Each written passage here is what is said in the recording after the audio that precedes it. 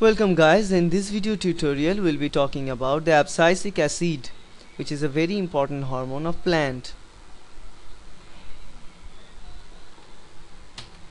Let us move on.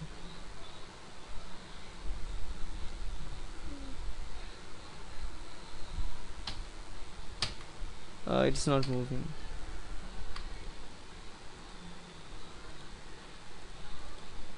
Okay. Uh, okay. In 1950 Bennett and Clark found there is a growth inhibiting hormone among the plant hormones. They also found that this hormone causes leaf drop and the bud dormancy. Later this hormone was named as the abscisic acid. Abscisic acid biosynthesis. Abscisic acid can be found in different plant parts such as roots stems buds leaves fruits and seeds.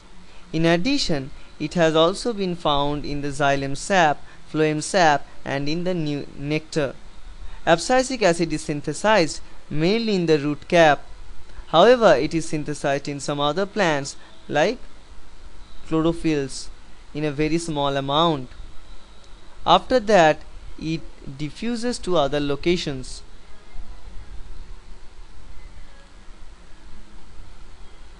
Now let us focus on the metabolic activity of the abscisic acid. Stomatal enclosure. Abscisic acid re regulates the stomatal closure when there is a water deficit. Photosynthesis is the most sensitive activity of the water deficit.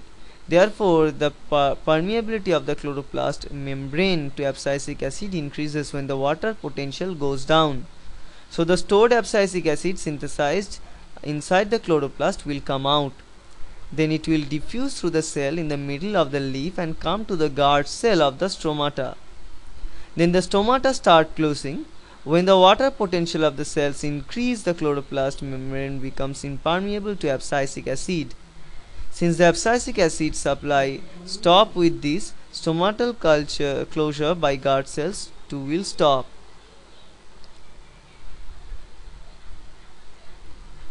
Second one is the effect on the plant growth.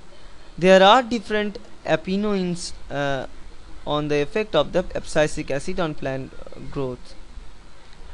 In general, it is accepted that the plant growth is inhibited by the abscisic acid. It also affects the geotropism of the root.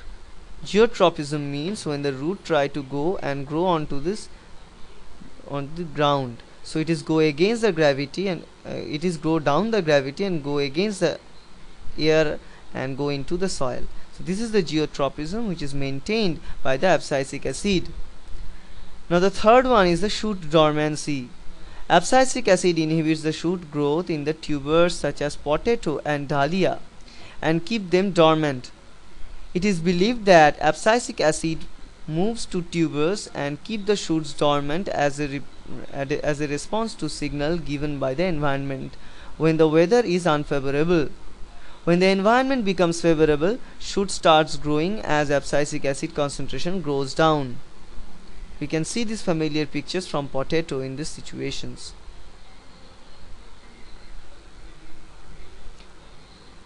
Fourth one is the seed dominancy, seed dormancy, sorry. Abscisic acid is produced by the embryos of developing seeds. This prevents the production of enzymes needed for germination. Similarly, abscisic acid prevents the germination of immature seeds, seed germination while they are in the panicle, and keep these seeds dormant until they mature. This is a very very important and unique feature of abscisic acid. Fifth one, which is the abscission. Abscisic acid is responsible in, in developing an abscisic layer between different plant parts and make them fall. This is the characteristic feature of abscisic acid activity onto a plant. This is most active in the leaf lesions. Abscisic acid concentrations increases when there is a water deficit and ac accelerate.